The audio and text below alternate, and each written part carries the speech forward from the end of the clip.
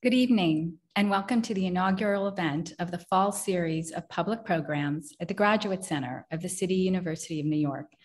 My name is Leslie McCall, and I'm a professor of sociology and political science at the Graduate Center, and also associate director of the Stone Center on Socioeconomic Inequality, which is a co-organizer and sponsor of tonight's event.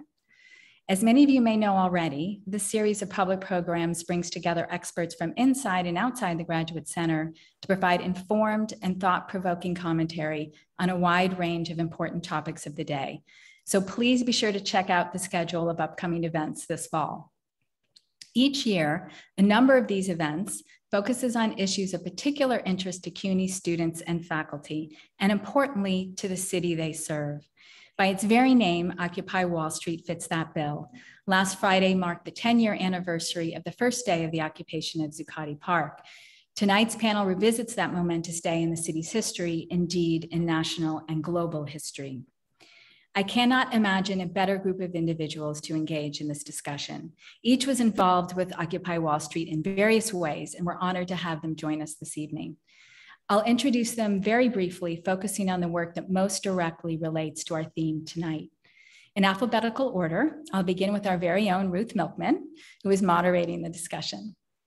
Ruth Milkman is Distinguished Professor of Sociology and History at the Graduate Center and also CUNY's School of Labor and Urban Studies, where she chairs the Labor Studies Department. She's past president of the American Sociological Association and author of many important books. Her most recent books are a co edited volume titled Immigration Matters with Deepak Bhargava and Penny Lewis, and Immigrant Labor and the New Precariat.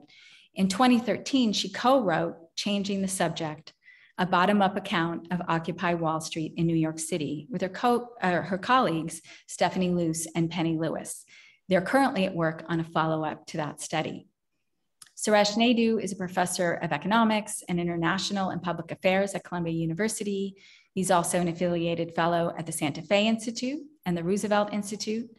His work spans a wide range of topics, but most relevant, I think, for tonight's discussion is his work on the decline of bargaining power among workers, particularly vis a vis large corporations, and consequently the need for strong antitrust regulations. He organized weekly teach-ins on economics at Zuccotti Park and more generally has been involved in creating educational resources for the public that will contribute to building a more equitable society. Cathy O'Neil is a mathematician and former professor at Barnard College. She has worked in the belly of the beast in the financial sector and as an independent data science consultant. She recently founded O'Neil Risk Consulting and Algorithmic Auditing, otherwise known as ORCA. She is author of Weapons of Math Destruction How Big Data Increases Inequality and Threatens Democracy, which was long listed for the 2016 National Book Award in nonfiction. She is also a regular contributor to Bloomberg View. At Zuccotti Park, she co founded the Alternative Banking Group, which continues to meet on a regular basis. Last, but by no means least, Nelini Stamp is the National Director of Strategy and Partnerships at the Working Families Party, where she has worked tirelessly to build multiracial grassroots political power since 2008.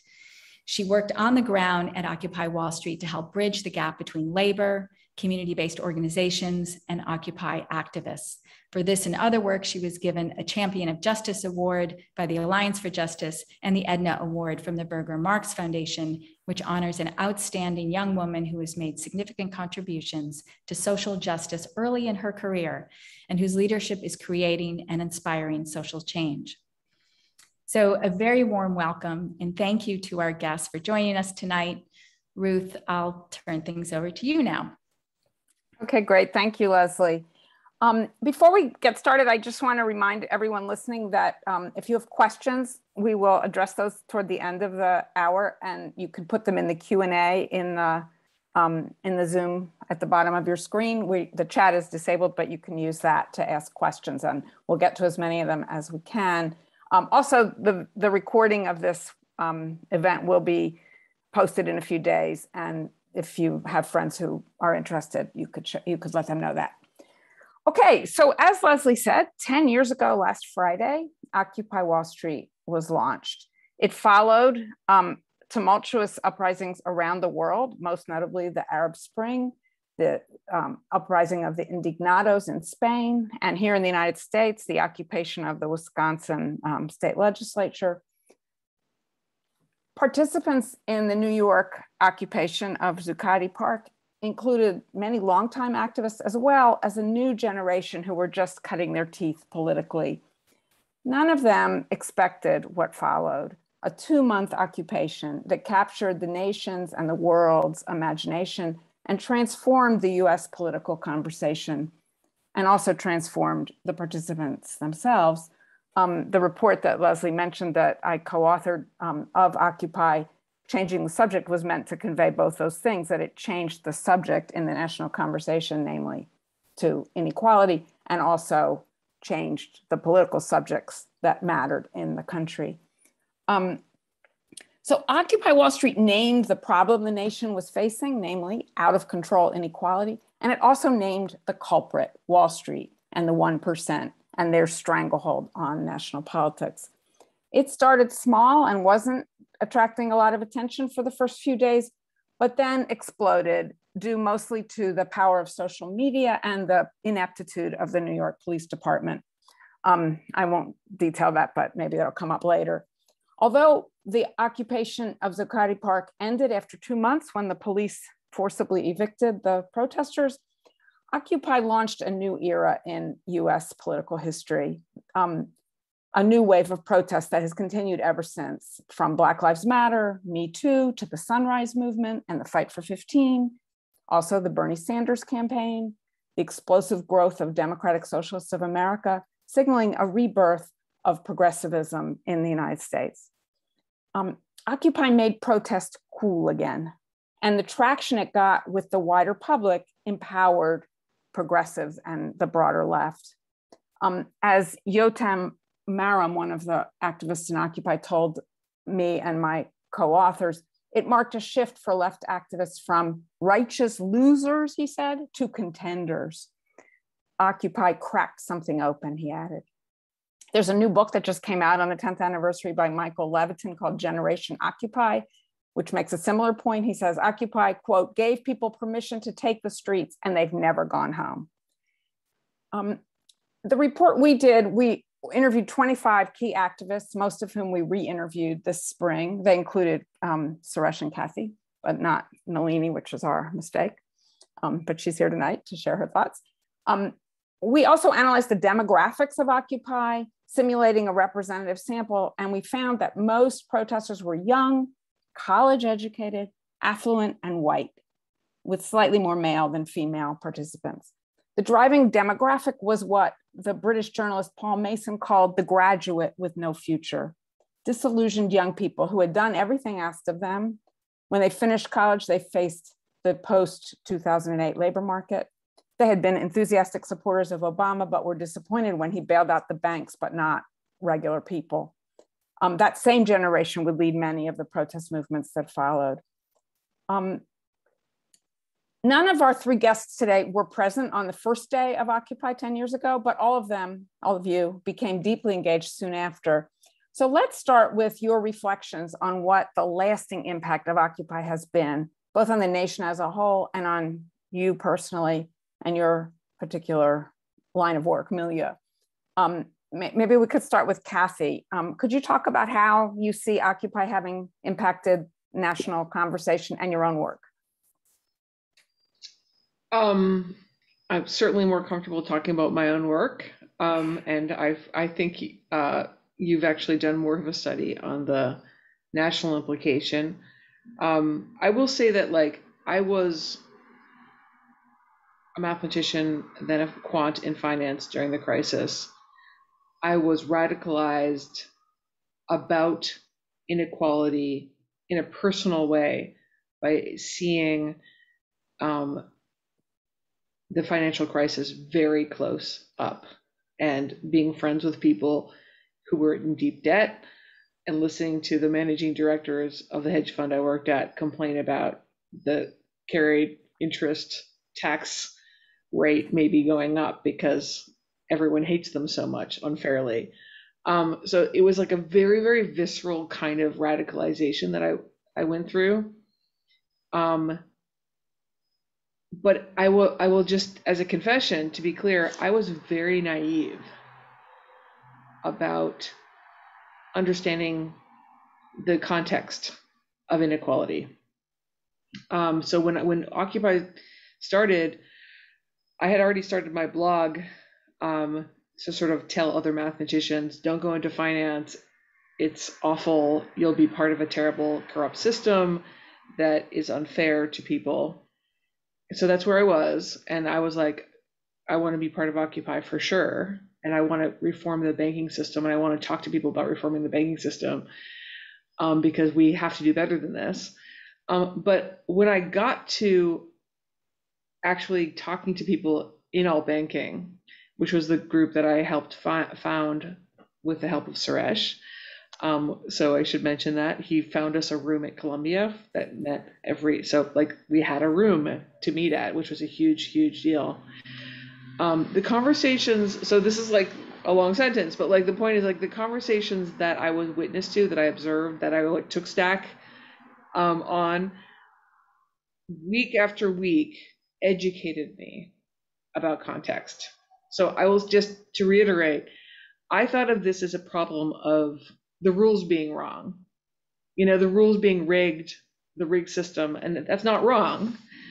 But what I didn't see, um, and what was I, what I, what I was educated about in the context of these meetings that happened on a weekly basis for 10 years um, was just like the context of power, the context of history, the context of race um, and gender and ethnicity. And like, I just, I remember the first like maybe 400 times that someone brought up such issues. I was like, guys, can we get back to the point, which is like, how do we reform the financial system? Like, that's what I was thinking. But like, luckily, I didn't say it out loud because, you know what I mean? Like, after many, many, many weeks, I was like, oh, wait, this is about power um, this is about race, this is about gender, this is about all these things, that this is just one manifestation of that. So for me personally, to answer your question, Ruth, for me personally, um, the answer is that um, Occupy educated me.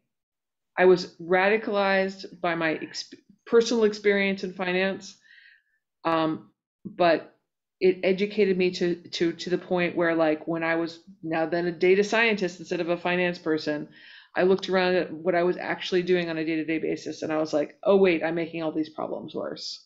I would not have been able to see that without the education that I obtained in my meetings. So I'll stop there. Okay, great.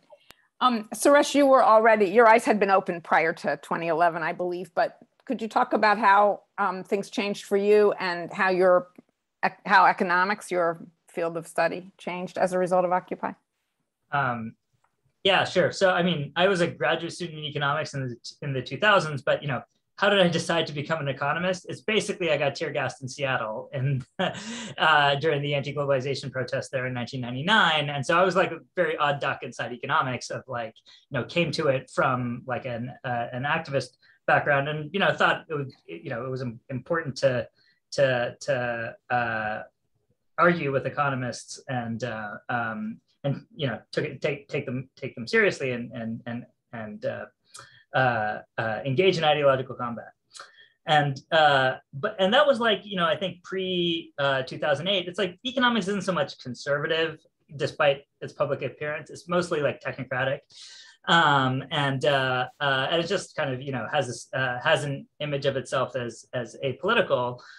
Um, and you know one of the things I think um, Occupy and the financial crisis and just kind of all of the things that came after 2008, I think there really is kind of a, a sea change in, uh, and I think it's partly generational. It's like, you know, if you hit the labor market after 2008, you probably have a very different vantage point on uh, uh, on America that if you hit the labor market, you know, before 2008.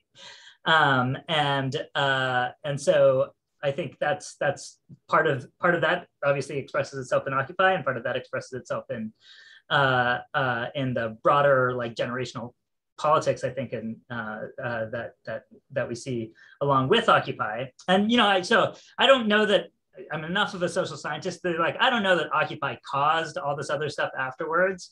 You know, there's probably were these like big latent forces brewing and occupy was one way they could have manifested and it could have manifested in other things. And you know who knows? It's uh, it's we only get one run of history and it's very hard to like figure out what causes what. So um, i'm not gonna i'm not gonna uh, uh, say anything about about uh, about you know the the causal effects of, of occupy.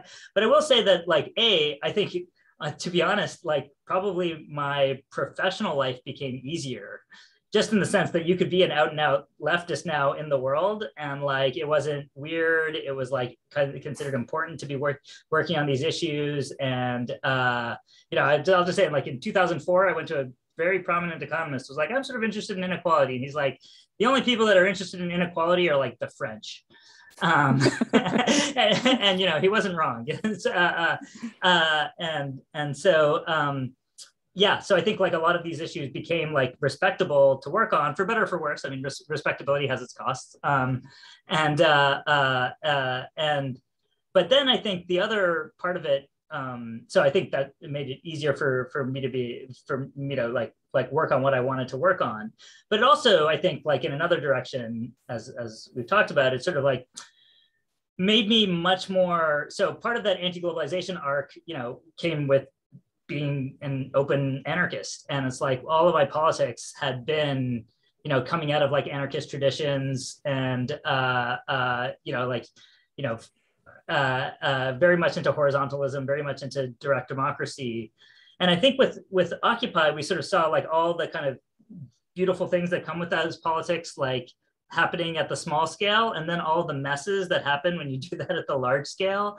Um, and how you like can't uh, like it is really teed up to to work with people that already have relationships with each other that it can't handle you know like like large inflows of strangers. And um and so it made me really much more sympathetic to like bureaucracy so, uh, that like in some sense you you like uh, at, at, least at this moment in in the US like we just don't have the organic kind of networks that is actually needed to do a horizontalist like mass movement. You need kind of uh, big organizations with staff and revenue and lawyers and there's like it's very hard to horizontalize your way out of that. Um, so that's sort of like one of the things. And I, I always have mixed mind so when i'm arguing with like people that are super pro centralized politics i'm like no no you don't understand. And then I'll, I'll, I'll, I'll argue the other way on a different day. Um, so i think that's that's interesting. But it's also partly where like my academic work has gone has gone into largely working with the labor movement um, as kind of like a vehicle for for uh, you know it's like it's the one thing we've got. Um, there was something else i wanted to say but i don't remember. So i'll, I'll, I'll Okay, well, you'll get another chance. Yeah. Um, well, turning to Nelini, you were already working on the staff of the Working Families Party, though I believe not in your current position. Um, could you talk about um, how your involvement in Occupy changed you and changed New York politics and and the Working Families Party itself? Yeah, and I also was there day one. I was there Oh, before I'm day one. It's okay. I didn't know it that. was- I never went to the general assemblies, but were invited to and went to all the parties afterwards, in the lead up um, um towards that. But um, yeah, I had been working. You know, I'm I'm from Brooklyn and Staten Island, New York, uh, born and raised, um, and had been working at the Working Families Party because the economic crisis affected me personally. Um, before the uh, financial crash, just I couldn't go to college um, because marriage equality wasn't legal and they didn't see my mother's partner as a full person who had multiple sclerosis and no job. Um, I lost all hope in my future and became a high school dropout and did domestic work and retail work. And one day, my minimum wage raised. Um, and I was like, who did that? And they said the Working Families Party. They, meaning um, Ask Jeeves at the time, not even Google. Um, and I um, started getting involved with the Working Families Party in 2008 when I tried to go to um, to go to college and secure a loan, but couldn't because a lot of banks weren't giving loans without cosigners, and half of my family was underwater. Um, and I started working in, in politics, and um, Occupy really shifted politics, both like electoral and movement politics, um, both in the state of New York, but also nationally. Because before, people were using digital tools just as like email list or blogs. We weren't actually really, really using the power, the full power of social media, the power of live stream, which we saw in the Arab up- uprisings, we saw in Wisconsin. People like you're live streaming. So the, the, the the beautiful part about direct democracy in that time was that you were also making it so everybody can see it not just you in this park, just like if you were there, that's the only way that you can see it, but everybody was able to see it. So for me, you know, what I, watching the shift in New York from this is when the IDC, which some of you might remember, but the original IDC, the original breakaway Democrats were at its most powerful reign. Um, this is when we still have Bloomberg as the mayor of New York after Giuliani's reign. And this is also when police, like, one of the things that it shifted, which I think is really important, especially if you had done criminal justice organizing before it, but a lot more people had a different view of the NYPD because September 11th was my third day of high school. I went to LaGuardia High School for the performing arts, and um, and people had always it was always in my family to to view the NYPD and the FDNY in a specific limelight. They were our heroes. They were what now I would say you know, is essential workers are the city's heroes after what happened in the pandemic. But it was, you would never say a bad thing or criticize them in such a public way unless you were doing criminal justice organizing. And for, for young kids in a park, mostly white, um, which was a whole nother thing that I can, my experience interacting with that mostly affluent as well, which was another thing to be a working class person in that space. Like people had digital cell phones and i remember being like i have a flip phone. I can't afford that. People were like go go on twitter and i was like text to tweet. Um, but what what occupy did i think the most one of the most transformative th- things was it revolutionized how movements work. Um, before you would use an email there was toolkits but there wasn't this like put out a tactic and let the rest of the country take it and and modify it for their local communities right? And then and we saw that. We saw Indivisible do that years later. We saw Women's March do that years later. That doesn't happen without Occupy Wall Street.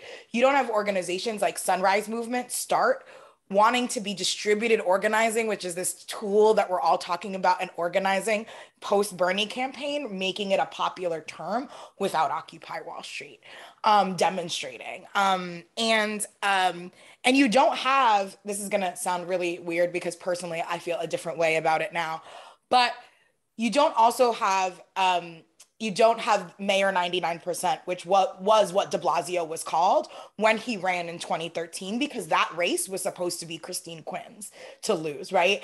And it was because of the movement that he could say it's a tale of two cities right? You don't have elizabeth warren in 2012 the next year beating a, a, Republican incumbent, which is damn near impossible, especially in that time, flipping a seat because she was one of the first kind of thought leaders out there to endorse that were that was very known to endorse the movement. Um, and so and you don't have things like yeah. So I, I I could go on and on and on, but I just think that you know what. You know the, the term like this could walk so so many people could run is like what I, I it kind of like clicked into me is like wait, we walked so Bernie Sanders could literally run for president of the United States. Um, and I think that that's something that is, you know, I I was I didn't want to claim for a while, but when you actually look at the people who end up in even Bernie Sanders campaigns and Elizabeth Warren's in, you know, in 2016 and 2020 respectively, it's a lot of former Occupy folks who cut their teeth at the ground. Well, that's a perfect segue to what I wanted to bring up next. Um, because, as you all know, Occupy famously refused to specify demands.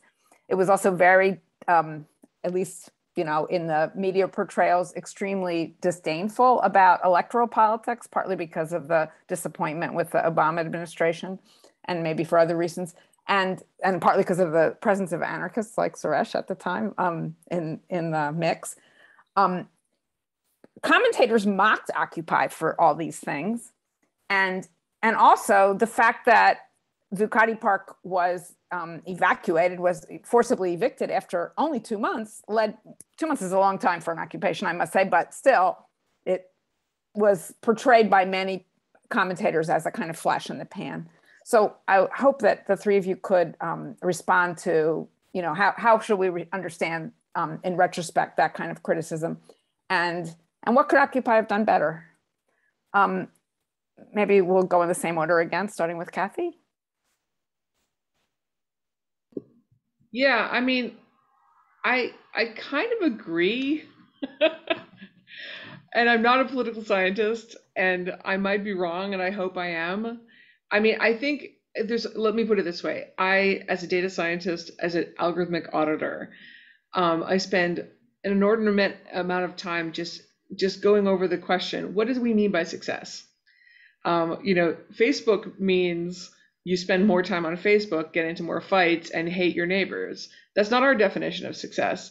Um, so it's like everything is in that is in that little not small detail of what do we mean by success and if by success we mean that occupy was like as successful as the democratic party in like churning out uh, candidates that won elections and changed um, changed platforms then no i don't think we were like i don't I just know um, but if we, on the other hand, going to the other end of the spectrum of sort of strength of definition, you mean like, did we change the conversation? Yes, absolutely. We did change the conversation. Um, inequality became a thing that people actually said, this is wrong. Now, did it, it didn't go far enough. Um, I'm, I'm coming out with another book like next year. And, you know, one of the things that sort of infuriates me and saddens me is that we still have just a, an enormous amount of blame and shame around po- poverty. I mean, that's just a fact about our country. Um, so Occupy didn't succeed in the sense of like really lifting that, even around student debt. Like we just we just aren't there yet. Um, so you know, it's like I, I feel like it really is, and I don't want to. I'm not trying to like squirm out of the question. Um, but I do feel like it's all about what you mean by like what what what does success look like? If you define success um, sort of um, in a certain ways, then then by all means it was successful. I I am reluctant to suggest that like, and it's kind of like Suresh, maybe because because I'm a modeler, like I'm reluctant to claim causality. I do think that that um, I agree with Nelini that like when I was at Bernie Sanders rallies, I was like, yes, these these are the people that I knew from Occupy and that I and I'm happy to be here. And I feel like I feel I feel kinship. Um, and and for that matter, like I, I agree that a lot of the um, the notion of protests, um, the notion that you can actually possibly make a difference, stems at least from my personal experience from that from that moment. But I, I'm I'm reluctant to say anything more grandiose than that, and it possibly because I just don't have the data, and I'm kind of data data centered. So I'll stop there. Thanks. Okay, and um, let's turn to Suresh up on this question, and and also what could could Occupy have done things better? What would have would have worked better, if anything? So, so I thought Michael Moore had a really great line during Occupy, which is like the job of Occupy Wall Street is to occupy Wall Street. and uh, uh, and you know, and it's kind of wrong, I think, as a principle, to think that everything has to do everything.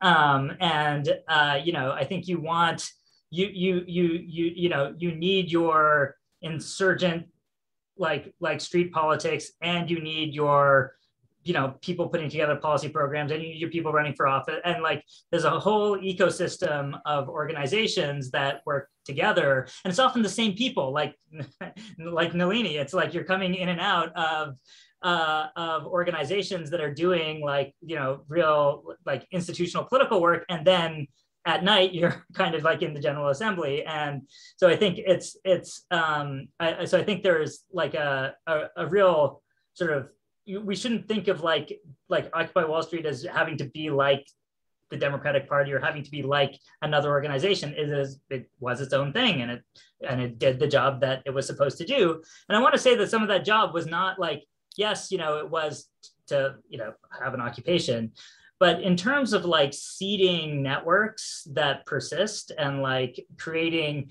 you know, part of the thing about protest that that you know sort of happened over the, over the years is that you wind up seeing the same people again in different contexts. And that like uh you know is one of the reasons i could really, really easily get involved in occupy even though I wasn't there on the first day, is because so many of the activists that were there, I had known from stuff like five, uh, five, ten years uh, previous, and that, or it was one degree of separation away from them, and so it was very easy to figure out what was going on because these like social networks had been seeded over like a, over over a while uh, uh, before, and then I, you can see then those same networks go forward and they become the Bernie Sanders campaign and they go into DSA and they, you know, and uh, and so and I think that's like that is that is a success. I think is like uh, uh, and asking like asking it to do more than that is to actually kind of miss the point and uh, and I think like so if in fact like phrasing demands I think would have weakened that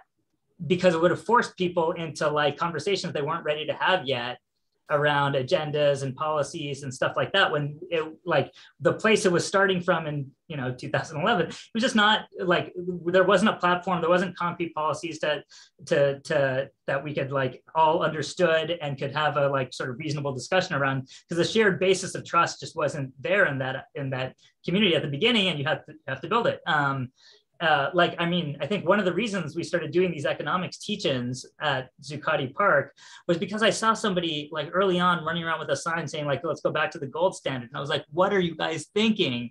And, uh, uh, and I was just like, okay, we have to, we have to up the educational materials here. Um, and, uh, and so, so, uh, uh, so I think it's like, I think it was a total success, and the fact that it um, ended was is sad, but it also did a lot of the work that it needed to do. And you know, I don't know for people out there that that read any like of China Miéville's work, there's this idea of a time golem where like something is worth more as the possibility of what it could have been than it actually would have been worth in practice like if it had continued and fizzled out and like just deteriorated into like a mess of infighting and like like sorted you know interpersonal politics that would have been a much sadder end to it than having the police evict a bunch of heroic occupiers. And so in some ways like how occupy ended was worth more than if it had continued so I can say that out loud now because it's 10 years on, and I probably wouldn't have said that a year after, but you know, uh, uh, uh, so there you go. Interesting. Nelini, what do you think about these questions? Yeah, so I think um, as an organizer, you're taught like, are people make having like are things changing in people's lives, right? Whether that's policy wise, whether that's condition, um, and I think that like, and that and that's what I was always taught. Like, is something going to change? Like, chan- tangible, not tangible, tangible wins for people's lives. And here are the things that I think that folks who, eh, for me, was really interesting are actually the wins that we did have, really in that time period that weren't actually in the conversation because, um, I think there was a lot of different reasons, but because you know I think somebody had said this in the questions is just like we it was really hard to have some dialogues because we're living in a inherently a flawed country, right? We're on stolen land that was built by stolen labor. Um, capital, like we're trying to fix, we're trying to bring attention to economic justice and economic inequality in a capitalist society. And so I think that like when we, and I think that the movement does it to this day, is that we actually don't acknowledge our wins so the millionaires tax was passed in October of that year because people sat outside Governor Cuomo's office and called him Governor 1%. Stop and frisk. And I'm not saying that like these didn't have lineages of organizing, right? But the organizers who worked on those, that was actually the campaign I was working on before Occupy, and Occupy made it so we didn't really have to do much before after that. It was a statewide campaign I was working on. So you'll, if you talk to organizers, they will say like, what like because so many people were radicalized, especially young white kids, by police brutality, you then have in two years that like the next year, stop and frisk ends. And there's a big march to end stop and frisk that has a lot of young white kids who would never show up. Um, you have Occupy Homes that saved, I believe, as one of the co-founders, and 40 homes. Like it actually saved 40 homes in Minnesota and in um, Atlanta. And so when I think about like, like a social movement is really hard to say whether it wins or lose. Like social movements are ecosystems. They win, they lose, they do everything actually in between. um, because there isn't just one one nexus. Like there's plenty of stuff in the civil rights that won, movement that won, and plenty of stuff that we didn't win, which is why the legacy continues. Um, and so I just I think that when I think about it from a social movement and organizing perspective, we think about things that are going to change people's lives, and we do actually think about the conversation changing because that's half of the battle. Um, because culturally, like you cannot have conversations with people um, when I mean I can't can't have, but it's really hard to have organizing and moving people um, to to to be involved and agitate them to move people to get involved if there is a huge cultural and difference where people just have a wall. And so the fact that the GOP put out a memo saying we can't talk about capitalism as a good thing anymore, three weeks into the park, like all of these things, I see them as like small victories. I'm not saying that we win, like we still live in capitalism. I got an iPhone. We're talking on a Zoom, Zoom that made a lot of money during the pandemic. Mm-hmm. Like, you know, we still live in capitalism. Um, you know, our big bad now is Amazon compared to Walmart back in those days, right? Besides the banks.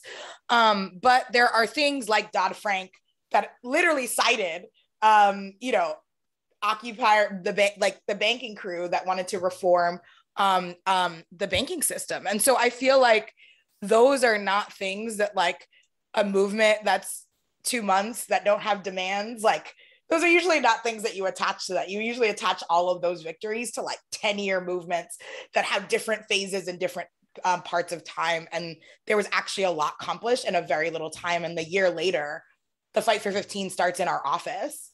Like and it was like only because of occupy wall street that organizations got together with fast food workers and said let's go um, so yeah, I I'm measuring it through that and I measure it through like seeing what organizers have done since. And to me, that is a success. When you bring more people in, when you change people's lives, that is a success for our movements. And you change people's attitudes as well, change their minds as well as their lives. And, you know, we all have seen the, well, I, I think maybe in the audience too, have seen the polling showing um, the big increase in the numbers of people who are critical of capitalism identify as socialists. That's something that happened after 2011. And I think Occupy gets at least a big chunk of the credit, if insofar as we think that's a good thing. Um, I have another question for you all, but before I ask it, I want to remind the, um, the participants in this webinar that you are um, invited to put some questions in the Q&A. There are a few there, but very few. So please do that because in about five minutes, we're going to turn to those questions. Um, so I agree with what Nelini just said, but nevertheless, I want to point out another side to the story, which is that for all its achievements, Occupy, and, and, and it wasn't just in Zuccotti Park, I'll remind you, Occupy morphed and replicated itself all over the country and around the world. Um, but it also stimulated a backlash from the right. I, I know everyone listening knows this. Here we endured four years of Donald Trump's presidency, who articulated a, a sort of xenophobic twisted version of Occupy's critique of the rigged political system. Far more extreme reactions have happened um, to uprisings in other countries. Think of what the current state of Egypt, for example, or Tunisia just in the last couple months. Um, so, uh, in that context, in the US, with its extreme polarization politically, um, I'd like to ask you all to reflect on the future prospects for Occupy style activism and progressivism more generally. I know it's hard to predict the future. It's even harder than um, not having the data to trace the direct impact of Occupy, but give it a try if you don't mind. Um, can we start with Cathy one more time? Sure. Um, and I would even like go, I would just go back to the Tea Party actually. And like, that, that's the thing that you like, you're like, oh wait, like they actually did political things um, that you that are more directly traceable um, mm-hmm. um, and that's and that's hard to disagree with you know? Um, and and it going back to Suresh's point about bureaucracies like they also got funding you know? Uh, there there was there was stuff that worked for the Tea Party um, quite quite directly. And again I'm not a historian so I'm not I'm not on top of that I will say though that in terms of like legacies, because it's more, and I think I think it's fair to say that we know that Occupy's effect is more, um, it, it's it's more nebulous. It's more you know, environmental, if you will. Like one of the things that I, it occurred to me while you guys were talking, um, Suresh, about the networking that successfully happened because of Occupy and because of other progressive campaigns, and what Nelini was saying about stop and frisk. Like one of the things that happened to me personally is a couple years after Occupy, I was at a hackathon, which I don't think would have existed, honestly, these progressive hackathons for data people like myself without Occupy. Um, so I, I think there's a direct path. And we opened up with the NYCLU the stop and frisk data. And I was I helped them actually like come up with the statistics that were later used in the um in the judge's ruling that it was unconstitutional as a practice. So like, you know, this is like this is exciting, right? The, and the, the people I met at that hackathon are the current crop, and it's a growing, very growing quickly growing movement of of activists within the tech sector. So there's a lot of exciting things happening, which, um, if you know, I will consider it the Occupy legacy, um, but it's not. It's not like people people won't point to Occupy and say like this is what inspired this all. Um, so it's it's a little bit harder to pinpoint, but I think um, I think you know when you when you look at the the sort of activism going on among the workers in tech right now, which is is pretty impressive. Um, you know, that's the battle that's w- being waged right now, and it's it's happening, um, and it's the future, and and it's it's growing. So I, I I guess what I would say is like, Occupy is still having echo effects, although a lot of people wouldn't recognize it that way. Okay, great, Suresh. Yeah, so let me actually um, be a little bit contrarian, um, which is actually that you know I think a, a chunk of the of the um, of the populist right is also animated by many of the same same things that came out of uh, uh, Occupy. In fact, you'll see like if you you if you chase down Facebook pages of people that were uh, in Occupy, you will find that they're like crazy QAnon people or like that you know that there's there's there's there are also like Trump supporters and stuff, and so I think partly the the um, and and so and I, I actually think it's more of a uh, of a problem than than maybe we want to think is that like that you know protest kind of partly because it was big and inchoate kind of got I think a lot of people under one banner that then gave you two reactions to you know whatever the status quo. And one was one was bernie sanders and one was donald trump. Um, and um, but what's interesting what i find like okay so that's that's kind of what i find interesting is actually the class split in that um, where it's that really and the and the race split in that which is that you know it is like amazing to me how much of people without a college degree went for trump. And we're also the ones like involved in very like lots of lots of like working class people less so in new york i think than in other than in other places. But you know to the extent that there was um like a young a young white like not college educated constituency participating in occupy i think where a large chunk of them wound up was in the populist right um and uh and not on the left. And so what I then find also interesting about this is also how much like the tactics and like aesthetics and grammar of like protest has been essentially monopolized by college educated people. Um, and uh, uh, and so i just wonder about um, it's kind of you know what what piketty calls this brahmin this brahmin left where like overwhelmingly the constituencies back you know the biggest most vocal powerful constituencies in favor of redistribution of some form are in fact like pretty highly educated uh, people with with varying economic outcomes based you know uh, uh, but but I find it um, like what do you do when you have such a big educational split uh, in in you know that I think was like a little bit breached by Occupy, but is like now completely polarized um, on that, and so um, and that that Occupy is like, uh, like like the descendants of Occupy are like even more of the highly educated parts, like the tech workers, and, uh, and what do you do when like all the people that have that vocabulary are like um, uh, have 16 plus years of education. Um, Nelini, how do you um, un understand the backlash and its relationship to progressivism? Um, ooh, uh, I mean, I think that uh, oof, there's a lot to say there.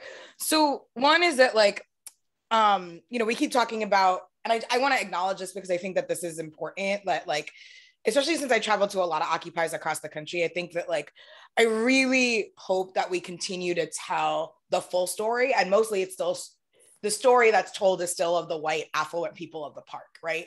Most of the people who wrote books out of Occupy are white men.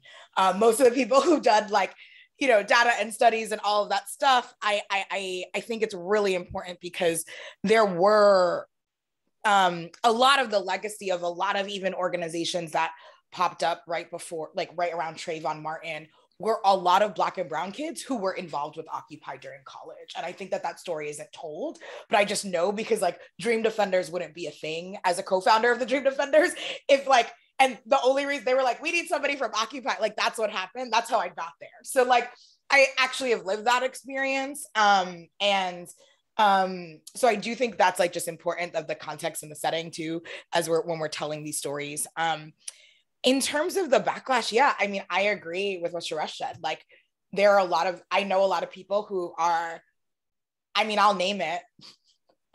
They're gonna like Twitter get me tomorrow. But like, you know, you have the Tim Pools and the Glenn Greenwalds of the world that literally have gone to the other spectrum. And there, there is this thing in general, honestly, and it happens honestly it's not just white working class like it happens across the board. This is what you see right now with working class men of color who are making the swing because they're targeted with disinformation right?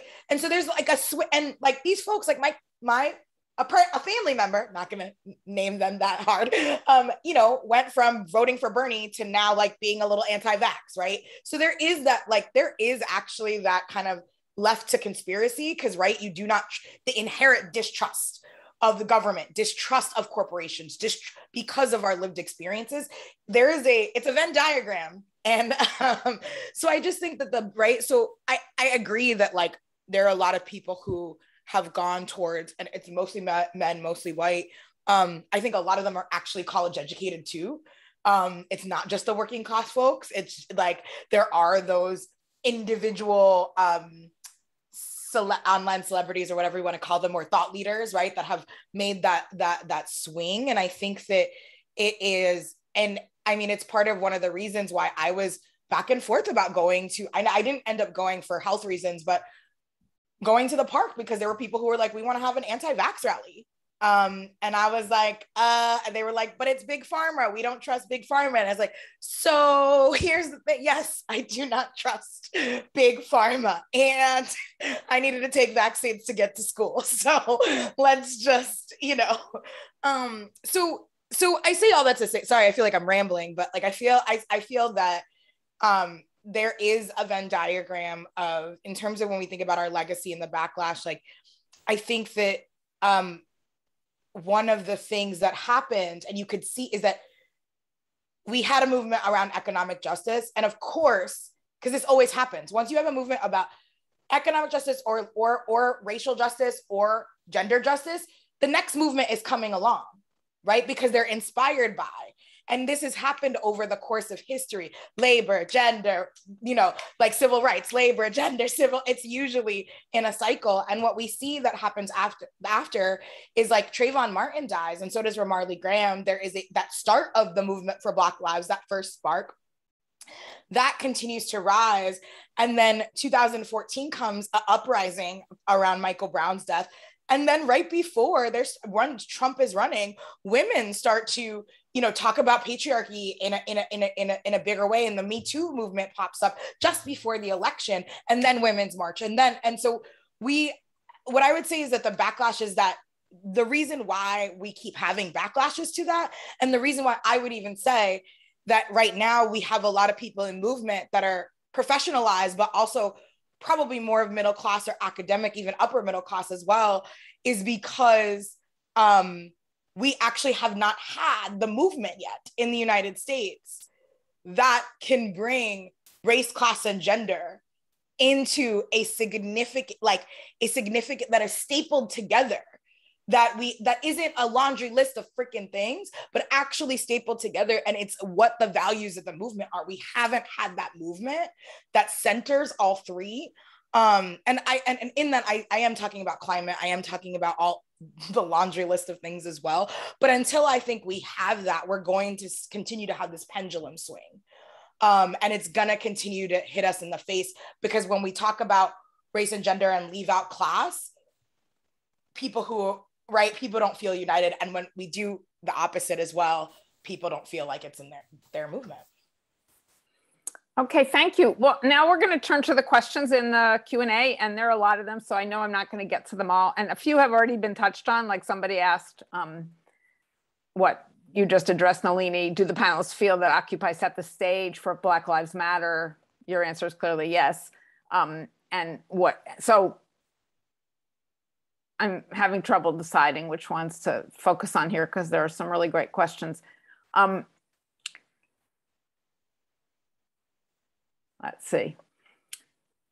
One is from someone called Cleo Carol Knopf. Have you followed the specific working groups that formed at Occupy that have turned into longstanding groups like Sane Energy and Moral Mondays? Um, there's one group that Cathy founded that still meets, so that's one example. But do people want to comment on the, you know, the direct, you know, legacy that way? Can you think of other examples?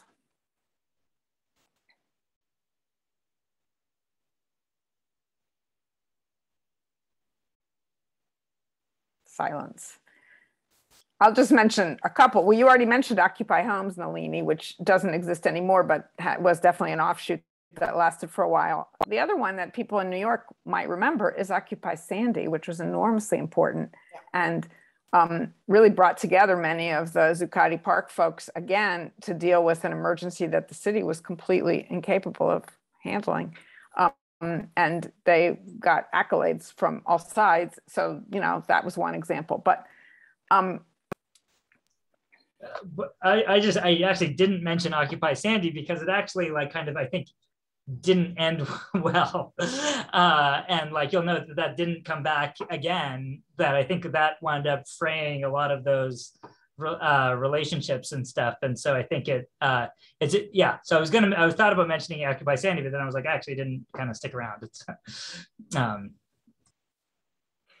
all right. Here's another question from the audience. Um, someone named Carol Anshine, pardon me if I'm mispronouncing that, who describes herself as a retired activist librarian.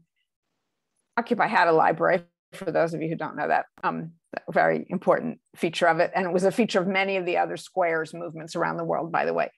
So Carol asks, I, um, she says, I remember visiting Occupy Wall Street, felt the energy of hopefulness. Many people describe that in the interviews we did, by the way, as this sort of magic in the air, this just amazing, you know, exuberance that people who participated felt. But anyway, aside from that, um, she says staff from the Queens College Library was collecting material. Has anyone looked at what they have and do those materials help tell or illuminate the story so far? I would just add that it's not just Queens College. There are a bunch of Occupy archives that have been accumulating over time. They're enormous. Some of them are digital, some of them are ephemera.